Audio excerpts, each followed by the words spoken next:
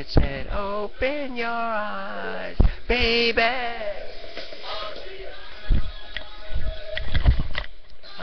Oh yes, we can get right back into uh, the 80s week. Did you see that?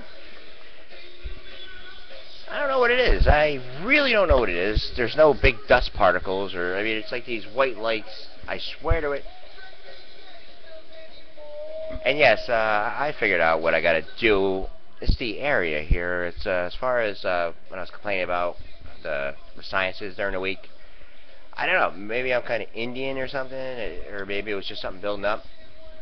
But no, I know exactly what it is. The heat. It's the heater in here because uh, I was feeling good for for like two days straight, and then uh, we had to put the heater on last night. And uh, yeah, it's dry. You know, it's like it dries you. It dries you up here in the nose, stuff like that.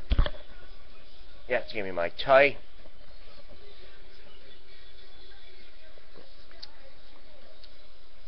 Have to heat it up a little bit more. It's not quite hot.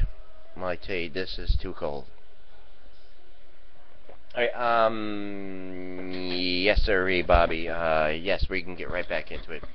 Uh, the thing with me is, I think when certain things uh, are brought to my attention, and when certain statements are made, and when misunderstandings are, are, are often made, at least I have to dedicate some part of the show towards it to uh, have a little bit of understanding, whether my audience, or me, or, or somebody.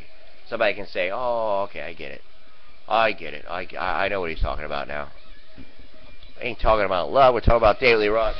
And thanks, DK, for uh, that post. I'm just kidding with the Buddha. We're, I'm into Buddha right now because every time that uh, that I think things need to be done here, I, that, that's what I do. That's what I did back in uh, October, in September. September, October, I spent two months on the show going over the Buddha and reading it and understanding it and the Reiki and the Rumi and all that. That was when I was serious about, you know, all the light working and all that. Yes, I see. What is this light working? Uh, do we go out yet and have our water, our chilled water in the moon? It, it's 333 here. Time for me to go out and have my chilled water out in the backyard.